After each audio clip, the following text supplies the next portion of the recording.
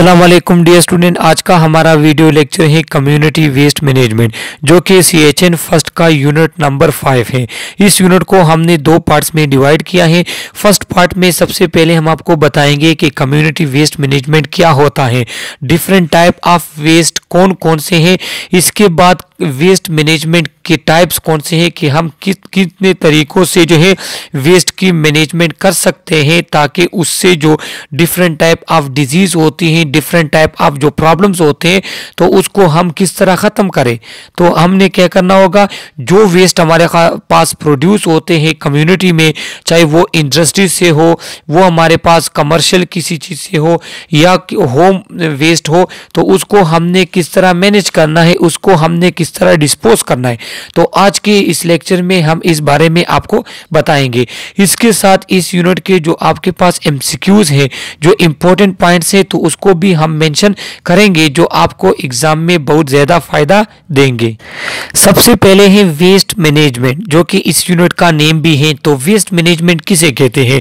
Waste management is the activities and action required to manage waste from its inception to its disposal क्या है कि आपके पास जिस जगह पे वेस्ट प्रोड्यूस होता है, कि हमारे पास जो है घरों में खाने की चीज़ें वगैरह पकाई जाती हैं तो डिफरेंट जो वेजिटेबल प्लांट्स वगैरह के वेस्ट होते हैं तो उसको गिराया जाता है। तो जिस जगह पे इस तरह इंडस्ट्रीज़ में डिफरेंट टाइप ऑफ़ केमिकल्स वगैरह वेस्ट बनते हैं बिल्डिंग मटेरियल्स के अपने वेस्ट होते हैं रॉक्स वगैरह तो जिस जगह आपके पास वेस्ट प्रोड्यूस होता है, वहाँ से लेके जिस जगह तक आप उसको डिस्पोज करते हो, उसको आप आबादी से दूर लेकर जाते हो, उसको आप रिसाइकल करते हो या ख़त्म करते हो डिकम्पोज करते हो तो उसके प्रोडक्शन एरिया से लेके उसके डिस्पोजल एरिया तक इस एक्टिविटी को क्या कहते हैं, इसको कहते हैं वेस्ट मैनेजमेंट कि एक जगह पे आपके पास वेस्ट प्रोड्यूस होता है, फिर आप क्या करते हो, वहाँ से वेस्ट को ख़त्म करते हो, वहाँ से वेस्ट को लेकर जाते हो, या आप उसको डिकम्पोज करते हो, या आप उसको डिस्पोज करते हो, या आप उसको बिल्कुल ख़त्म करते हो, वो आगे जो है, हम डिफरेंट तरीके आपको बता देंगे। तो इस मैनेजमेंट को क्या कहते हैं? इसको कहते हैं वेस्ट मैनेजमेंट इसमें तमाम एक्टिविटीज़ आती है। कि आप किस तरह वेस्ट को क्या करें कलेक्ट करोगे, फिर उसके बाद आप उसको किस तरह ट्रांसपोर्ट करोगे, फिर आपने उसको किस तरह ट्रीट करना है ताकि उससे जो है ह्यूमंस को और एनिमल्स को कम से कम नुकसान हो इन्वायरमेंट आपका जो है उससे कम से कम मुतासर हो। तो इस तमाम प्रोसीजर किसमें आ जाते हैं? ये वेस्ट मैनेजमेंट में आते हैं। इसके साथ वेस्ट मैनेजमेंट के जो आपके पास लोग होते हैं, जो सेंटर होते हैं, जो आपके पास गवर्नमेंट के जो इदारे हैं, जो इसके लिए क्या होते हैं, इसके लिए रिस्पॉन्सिबल होते हैं तो ये तमाम चीज़ें हम वेस्ट मैनेजमेंट में पढ़ते हैं। इसके बाद this include the collection transport treatment and disposal of waste together with monitoring and regulation of the waste management process इसमें कहते हैं कि आप वेस्ट को किस तरह मैनेज करते हो, किस तरह आप उसको जो है रिसाइकल करते हो डिकम्पोज या डिस्पोज करते हो तो उसका आपके पास collection transport and treatment and disposal of it ये तमाम इसमें आते हैं। इसके बाद इसके बाद कि आपके पास जो वेस्ट की मैनेजमेंट होती है तो इस प्रोसीजर को मॉनिटर करना और रेगुलेट करना, ये भी वेस्ट मैनेजमेंट का काम है कि आपके पास एक इलाके में जो वेस्ट प्रोड्यूस होता है इंडस्ट्रियल वेस्ट हो गया होम का जो वेस्ट वगैरह है तो आया, उसको प्रॉपरली जो है मैंने डिस्पोज किया जाता है या नहीं? उसको प्रॉपरली डिकम्पोज उसको प्रॉपरली आबादी से बाहर लेकर जाया जाता है या नहीं?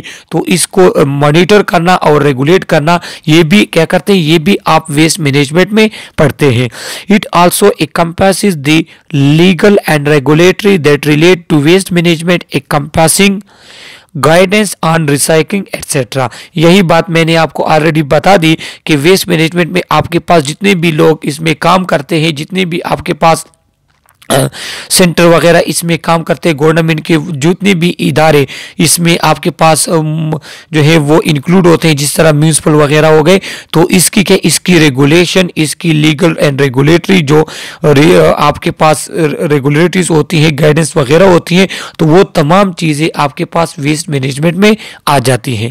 अब हम डिफरेंट टाइप ऑफ़ वेस्ट पढ़ते हैं कि हमारे पास वेस्ट मटेरियल में कौन कौन सी चीज़ें आती हैं। जिसे कोड़ा क्रिकेट अक्सर क्या कहा जाता है गंदगी वगैरह। वगैरह तो उसमें हमारे पास सबसे पहले है garbage heap garbage heap are all refuse other than industrial waste and effluents for example animal vegetable and food waste हमारे पास दो टाइप के वेस्ट आते हैं, जिसको कलेक्टिवली रिफ्यूज कहते हैं।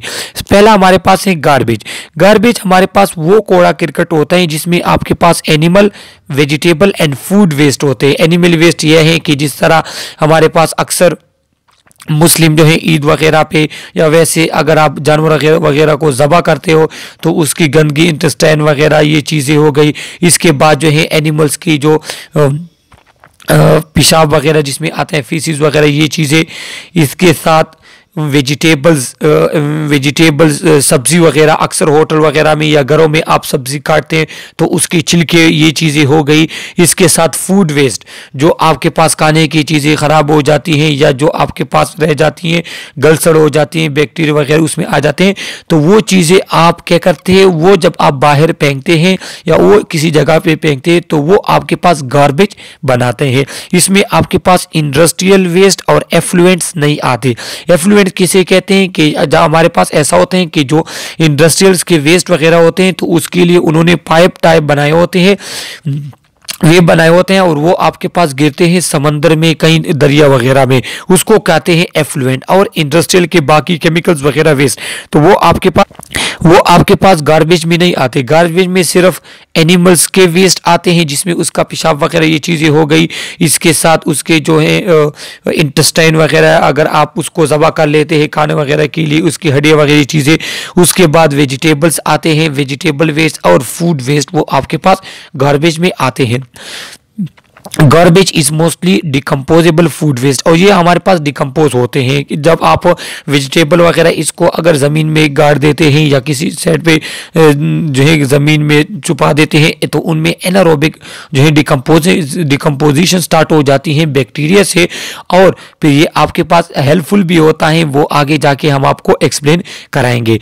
Rubbish rubbish is mostly dry material such as glass paper cloth or wood जो आपके पास ग्लास शीशा वगैरह प्लास्टिक या वुड वगैरह आ जाती है, लकड़ी चीज़ें, जो अक्सर ड्राई चीज़ें होती हैं, जो आपके पास डिकम्पोज भी नहीं होती ओपनली तो वो हमारे पास आ जाते हैं रबिश में, जो अक्सर बिल्डिंग मटेरियल्स में ये जो शीशा वगैरह यूज़ होता है पेपर क्लाथ्स वगैरह आ गए वुड वगैरह आ गए तो वो फिर हमारे पास आ जाते, हमारे पास आ जाते हैं रबिश में। इसके बाद रिफ्यूज क्या है refuse include garbage and rubbish इन दोनों को मिला के हमारे पास रिफ्यूज आता है तो ये आप एमसीक्यूज के लिए इसको याद रख ले।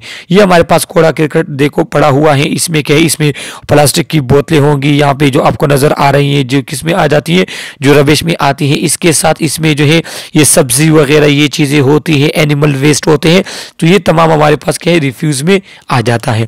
इसके बाद आ जाते हैं solid waste garbage from residential, commercial, institutional and industrial source container and packing food waste yard trimming and miscellaneous organic and inorganic waste कि आपके पास वो तमाम कि या तो वो घरों से कूड़ा क्रिकेट आता है या कोई इंडस्ट्री से है या कोई इंस्टीट्यूशन या कमर्शियल जगह होटल रेस्टोरेंट वगैरह थे अगर वो सॉलिड फॉर्म में होता है तो फिर वो किसमें वो आपके पास सॉलिड वेस्ट कहलाता है। सॉलिड वेस्ट डिफरेंट जगहों से आता है। अगर हम घर की बात करें तो उसमें क्या आती है? उसमें आपके पास जो है खाने की चीज़ें वगैरह आती है। इसमें आपके पास जो है वुड ये पेपर्स वगैरह प्लास्टिक ये चीज़ें आ जाती है। इसके फ़ूड वेस्ट आते हैं। इसके बाद यार ट्रिमिंग यार ट्रिमिंग ये है कि आपने जो है घास वगैरह काट ली है, इसको आप इधर उधर फेंक देते हैं। ऑर्गेनिक इनऑर्गेनिक वेस्ट आते हैं। ऑर्गेनिक वेस्ट में आपके पास खाने की चीज़ें, जो एनिमल्स वगैरह वेस्ट आ जाते हैं। तो ये क्या है? ये आपके पास सॉलिड वेस्ट में आते हैं। ये देखो, यहाँ पिक्चर में आपको दिखाएँ कि सब्ज़ी वगैरह की छिलके यहाँ पे पड़े हुए हैं। इसी के साथ जो है ये सब्ज़ी वगैरह, ये एनी ये देखो, ये डबल रोटी वगैरह जो कि क्या है फ़ूड वगैरह में आते हैं। वेजिटेबल वेस्ट फ़ूड वेस्ट ये आते हैं गार्बेज में सॉलिड वेस्ट इसके बाद सीवेज सीवेज सिस्टम अक्सर आप लोगों ने इसका नाम भी सुना होगा कि जो लेटरिन वगैरह, इसका गंदगी वगैरह जो है, इसके गटर बनाए जाते हैं। फिर वो गटर क्या होते हैं? वो आबादी से दूर कहीं समंदर वगैरह में खुलते हैं। लेकिन अगर उसमें कोई प्रॉब्लम वगैरह आती है तो अक्सर कंप्लेंट होते हैं कि सीवेज का पानी जो है वो साफ़ पानी के साथ मिलता है, बीमारियों काज करती है, ये अक्सर न्यूज़ वगैरह में हम बातें सुनते हैं। सीवेज क्या है water carried waste in either solution or suspension that flow away from a community कि जब आपके पास कम्युनिटी से waste in a form of water जाते हैं वाटर में, या तो वो सोल्यूशन फॉर्म में केमिकल्स वगैरह मिक्स हो गए, या वो सस्पेंशन फॉर्म में कि वो उसके साथ मिलते तो नहीं है, लेकिन वो वाटर के थ्रू कम्युनिटी से बाहर बाहर जाते हैं डिस्पोज होते हैं।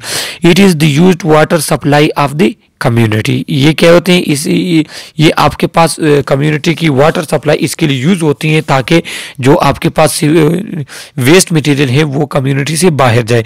Depending on their origin waste water can be class as sanitary commercial और इंडस्ट्रियल इंडस्ट्री से निकला है, निकलता है तो ये इंडस्ट्रियल वेस्ट है।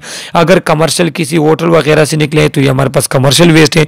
सैनिटरी घरों से निकलता है तो ये home waste home sewage system आप इसे कहते हैं। तो ये हमारे पास डिफरेंट टाइप ऑफ़ क्या होते हैं सीवेज सिस्टम होते हैं डिपेंड करता है उसके कास्बे कास्बे की जहाँ से ये, उसके ऑरिजिन पे कि जहाँ से ये आपके पास स्टार्ट हुआ है। ये आपको पिक्चर में दिखाएँ कि ये एक गटर है जो गटर का पानी जो कि यहाँ पे जा रहा है, इसमें आपके पास होम्स वगैरह इंडस्ट्री डिफरेंट जगह जहाँ से ये निकले हैं, उसके वेस्ट आपके पास वाटर के थ्रू कम्युनिटी से बाहर जाते हैं।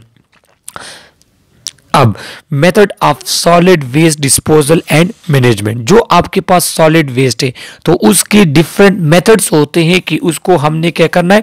डिस्पोजल और उस मैनेजमेंट के डिफरेंट मेथड्स होते हैं कि वो आपके पास उसको हम कुछ इसके साथ ऐसा तरीका करें कि वो नुकसान आपके पास कम दे, उससे आपके पास बीमारियाँ वगैरह पैदा ना हो। क्योंकि इसकी यूनिट की सेकंड जो वीडियो है, उसमें फिर मैंने एक्सप्लेन किया हुआ है कि हमारे पास वेस्ट से कौन कौन सी बीमारी काज होती है और किस तरह होती है। तो ये हमारे पास वेस्ट मैनेजमेंट के डिफरेंट मेथड यूज़ होते हैं, जिसमें open burning dumping into the sea sanitary landfill incineration composting ploughing in field grinding and discharging into sewers तो ये डिफरेंट मेथड्स यूज़ होते हैं जिसको एक एक करके अभी हम एक्सप्लेन करेंगे। सबसे पहले हमारे पास है ओपन बर्निंग ओपन बर्निंग का मतलब क्या है कि आप वेस्ट को जमा करते हो, फिर उसको ओपन एयर में क्या करते हो? जला देते हो। फिर जलाने से जो क्या होता है कि उसकी जो है वो ख़त्म हो जाते हैं। उसमें बहुत सी चीज़ें आपके पास ख़त्म हो जाती हैं। एक हमारे पास सिंपल मेथड्स है। Open burning is defined as a fire where any material is burn on the ground are in an open re receptacle other than a furnace incinerator or other equipment connected to a stake or chimney देखो open burning क्या है कि अगर आप किसी चीज़ को बट्टी वगैरह में जला देते हैं तो नहीं इसको आप जब वेस्ट को ओपन एयर में जला देते हैं तो उसको कहते हैं ओपन बर्निंग और ये डिफरेंट है, आपके पास फर्नेस फर्नेस कहते हैं बट्टी वगैरह को इंसिनरेटर इससे आपके पास ये अलग है, वो आगे जाके हम एक्सप्लेन करेंगे. तो एक हमारे पास ये मेथड है क्या चीज़ का वेस्ट मैनेजमेंट का. तो देखो, ये एम के लिए याद रख लें कि ओपन बर्निंग में क्या होता है, और ये भी हमारे पास एक मेथड है. सेकेंड हमारे पास है क्या है ओशन डंपिंग और डंपिंग इनटू द सी ऐसा होता है कि हमारे पास वेस्ट को समंदर में दफनाया जाते हैं, उसको समंदर में गिराया जाता है। सही है? Ocean dumping refer to dumping of material like garbage construction and demolition debris sewage sludge dredged material and waste chemical in the ocean इसमें क्या होता है कि डंपिंग कहते हैं गाड़ने को। हमारे पास जो वेस्ट प्रोडक्ट होते हैं जो गार्बेज होते हैं या कंस्ट्रक्शन या आपके पास इंडस्ट्रियल वेस्ट हो, होता है या कोई कंस्ट्रक्शन के रॉक्स बिल्डिंग्स के या रोड्स के हमारे पास जो रोड्स मटेरियल होते हैं बजरी वगैरह या रोड का कोई सीमेंट वगैरह जिसको आपने क्या किया जिसको आप हटा देते हैं तो उसको फिर समंदर में क्या किया जाता है? डम किया जाता है उसमें समंदर में गाड़ दिया जाता है। इसमें आपके पास डिफरेंट केमिकल वेस्ट भी होते हैं डिफरेंट आपके पास बिल्डिंग्स मटेरियल्स वगैरह के वेस्ट होते हैं। इसमें जो आपके प्लास्टिक वगैरह, बोतल, ये रॉक्स वगैरह, ये तमाम चीज़ें इसको कहलाते हैं।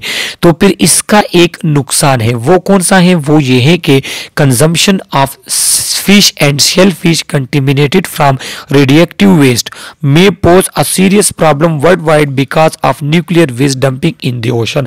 हमारे पास जो न्यूक्लियर वेस्ट होते हैं, जो हमारे पास केमिकल और न्यूक्लियस वेस्ट होते हैं, उसको क्या किया जाता है? उसको डंप किया जाता है ओशन में।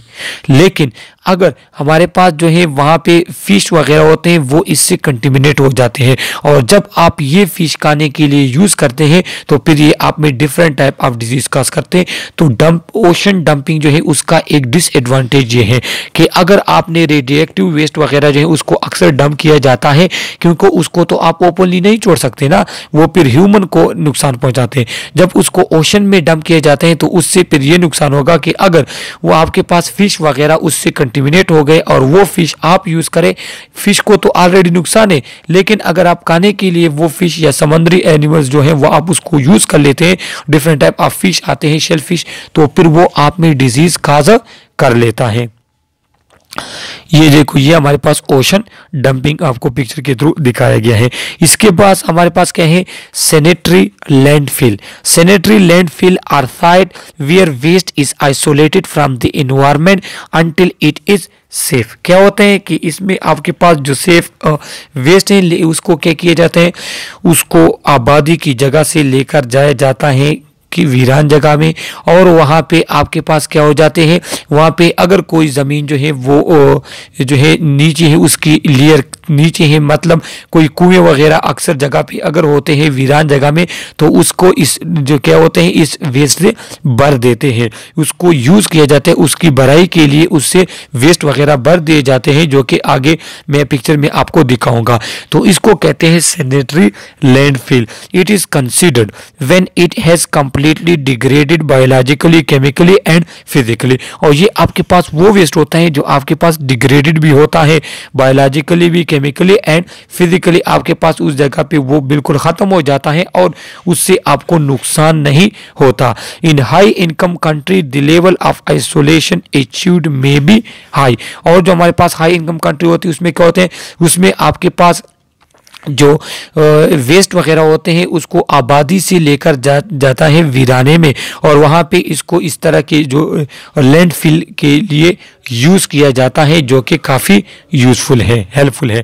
यहाँ पे आपको पिक्चर में दिखाया कि ये रेजिडेंशियल एरिया है, यहाँ से कोई वेस्ट लेकर गए। तो देखो, ये इस देखो, ये लैंड में ये यहाँ पे कुआँ वगैरह था, इसको फिल किया गया है।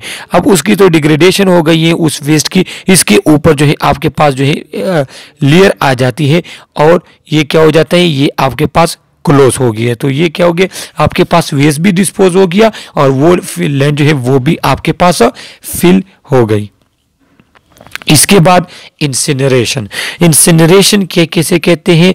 कि जब हम वेस्ट मटेरियल को जला देते हैं, लेकिन किसी के किसी में किसी बट्टी वगैरह में किसी स्पेसिफिक जगह पे जब हम उसको जलाते हैं। Incineration is a thermal waste treatment process involving combustion of organics in waste material कि आपके पास जो वेस्ट मटेरियल है स्पेशली ऑर्गेनिक वेस्ट मटेरियल उसको कह जाते उसमें आपके पास ऑर्गेनिक वेस्ट को जला दिया जाता है। फिर ऑर्गेनिक वेस्ट आपके पास सी खारिज करता है, उससे आपके पास हीट और different type of gas chemicals वगैरह जो क्या होते हैं, वो उससे खारिज हो जाते हैं और आपके पास वो वेस्ट जो है वो ख़त्म हो जाता है। Incineration of waste material convert the waste into ash उसे रॉक में कन्वर्ट कर लेते हैं। Flue gas and heat flue gas कहते हैं कि अगर आप जो है, आपके पास वेस्ट में जितनी भी गैसेज होते हैं, जितनी भी केमिकल्स वगैरह होते हैं तो वो फिर गैस फॉर्म में जो है खारिज हो जाते हैं और आपके पास वो वेस्ट जो है वो क्या हो जाते हैं? ख़त्म हो जाता है। फिर जब आप वेस्ट मटेरियल वेस्ट मटेरियल की जब आप कंबस्टन करते हैं ऑर्गेनिक मटेरियल वेस्ट में जो आपके पास ऑर्गेनिक मटेरियल होते हैं, जब उसकी आप कंबस्टन करते हैं, उससे फिर आपके पास ash flue gas and heat आता है तो इस प्रोसेस को कहते हैं इंसिनरेशन इंसिनरेशन खासकर इसी, इस तरह यूज़ होते हैं कि जब आपके पास कोई चीज़ जो है, उसको आप कहे उसको आप थर्मल हीट दे देते हैं तो फिर ऑर्गेनिक जो आपके पास वेस्ट उस पर होता है या उस पर कोई जम्स वगैरह, वो आपके पास ख़त्म हो जाते हैं। उस प्रोसेस को भी इंसिनरेशन कहते हैं। देखो, यहाँ पे आपको पिक्चर के थ्रू दिखाया है कि ये हमारे पास क्या है, ये हमारे पास वेस्ट वगैरह है। तो फिर इसको क्या किए गए इसको चलाया गया है तो इससे गैस आपके पास ऊपर चला गया और यहाँ पे आपके पास एश रह गए। तो आप ये कहें, ये वेस्ट मैनेजमेंट का एक प्रोसीजर है।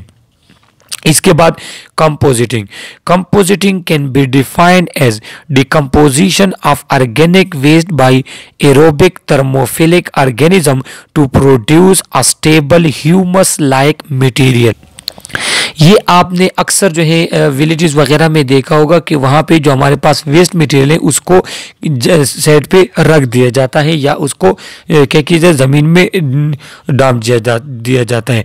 और फिर इस, लेकिन वो क्या होगा, वो एरोबिक उसकी थर्मोफिलिक वो होगी, का डिकम्पोजिशन होगी। तो फिर उसको जब रख दिया जाता है तो उसमें डिफरेंट आप बैक्टीरियाज वगैरह हैं, वो उसकी कंबस्टन वगैरह डिकम्पोजिशन बैक्टीरिया उसकी डिकम्पोजिशन कर लेते हैं। और आपके पास ह्यूमस लाइक मटेरियल बन जाता है, जिसे हम काद कहते हैं। अक्सर जो विलेज वगैरह में काद के तौर पर यूज़ होता है। वो भी हमारे पास क्या है, ये भी वेस्ट मैनेजमेंट का एक प्रोसीजर है, कि आपके पास अक्सर जो एनिमल वेस्ट वगैरह होते हैं और जो आपके पास होम वेस्ट होते हैं उसको क्या किया जाता है? उसको एक जगह पे रख दिया जाता है फिर उसमें डिकम्पोजिशन हो जाती है। उसमें क्या हो जाते हैं? वो ह्यूमस लाइक मटेरियल में कन्वर्ट हो जाता है। फिर ये क्या हो जाता है? ये ह्यूमस लाइक मटेरियल में क्या होता है? The प्रोई product of this treatment process are carbon dioxide water and heat ये क्या है? ये उसका बाई प्रोडक्ट है कंपोजिटिंग का जो आ, आपने वेस्ट की कंपोजिटिंग की है। तो फिर इसको हम क्या करेंगे? ये पिक्चर में आपको दिखाई गया है, ये हमारे पास कंपोजिट वेस्ट है कि उसको एक जगह पे रख दिया गया है, फिर इसकी आपके पास बैक्टीरिया डिकम्पोजिशन कर लेते हैं और ये ह्यूमस लाइक मटेरियल में कन्वर्ट हो जाता है। फिर ये ह्यूमस लाइक मटेरियल जो है, ये फिर क्या हो जाते हैं? ये अक्सर हम फ़ील्ड वगैरह में यूज़ करते हैं और ये प्लांट्स वगैरह ग्रोथ के लिए इंतहाई इंपॉर्टेंट होता है, इंतहाई फ़ायदेमंद होते हैं, क्योंकि ये ह्यूमिड ह्यूमिडिफाई होता है, ये अपने इसमें नमी होती है वाटर होता है, जो प्लांट की ग्रोथ के लिए इंतहाई ज़रूरी होते हैं और बेनिफिट होता है। इसके बाद puddling in field puddling in field किसे कहते हैं कि हमारे पास मॉडर्न यूज़ में ऐसे किया जाता है कि जो आपके पास फ़ील्ड का वेस्ट होता है, उसको काट कर उस फ़ील्ड में रख दिया जाता है। फिर कुछ जो है दिनों बाद उस पर हल चला दिया, हल चलाया जाता है और ये वेस्ट जो है, ये फिर उस आपके अर्थ के जो साइल के साथ मिक्स हो जाता है। जो वेस्ट आपने छोड़ा था फिर उस पर आप हल चला लेते हैं। जब आप हल चला लेते हैं तो फिर वो साइल के साथ मिक्स हो जाता है। तो फिर ये एक खाद टाइप का काम करता है। इसमें आपके पास प्लांट की ग्रोथ वगैरह, उसमें रूट ग्रो जो है, वो तेज़ी के साथ होती है और उसके लिए बेनिफिशियल होता है। In modern use a plunge field is typically left to dry out and is then hard before planting क्या होते हैं, जो आपके पास प्लज फ़ील्ड, जो फ़ील्ड वगैरह को आपने काट लिया है, फिर उसको फ़ील्ड में वहाँ पे छोड़ दिया। उसके बाद क्या हुआ? Ploughing and cultivating a soil homogeneous and modify the upper 12 to 25 centimeter to form a plug layer where the majority of fine plant feeder roots grow. क्या होते हैं कि ये उस लेयर को ह्यूमिडिफाई रखता है, उसको क्या कहते हैं होमोजीनियस मोडिफाई कर लेते हैं उस साइल के लेयर को और उसको सॉफ्ट सा बना देता है। फिर जब आप उस पर हल चला लेते हैं और उसमें आपके पास प्लांट्स के रूट जो है वो आसानी और तेज़ी के साथ ग्रो करती है। तो आपने वेस्ट को भी मैनेज कर लिया और आपके पास जो है प्लांट्स जो है न्यू प्लांट्स उसके लिए भी फ़ायदेमंद है ये। ये पिक्चर में आपको दिखाया कि यहाँ पे जो जितने भी आपके पास जो है फ़ील्ड था, उसको क्या किया है, उसको साइल में छोड़, छोड़ा गया है, फिर उस पर जो है उन्होंने हल चलाया है। तो देखो वेस्ट भी आपके पास मैनेज हो जाता है और ये फिर जो है प्लांट्स वगैरह जो इसमें आप उगाते हैं, उसके लिए भी काफ़ी हेल्पफुल होता है। लास्ट जो हमारे पास टाइप है, वो क्या है? Grinding and discharge into sewers कि हमारे पास ऐसे होते हैं, जो लास्ट लार्ज वेस्ट होते हैं तो फिर वो आपके पास सेवेज सिस्टम वगैरह में फ्लो नहीं करते, उसमें से नहीं गुजर सकते।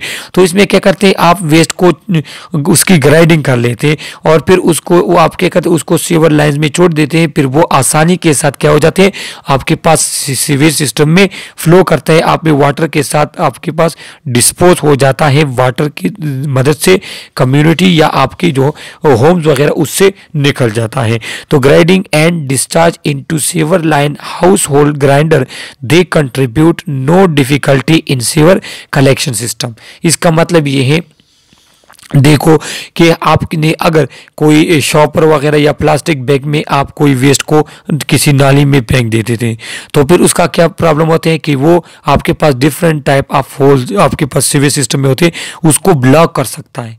लिहाजा जब आप कैसे होते जब आप वेस्ट को छोटे छोटे टुकड़ों में काट के उसे फेंकते हैं, फिर वो आपके पास सीवेज सिस्टम को ब्लॉक नहीं करता और वो फिर इजी आसानी के साथ आपके पास डिस्पोज हो जाता है। It may lead to an increase of solid in sewage treatment plant देखो यहाँ पे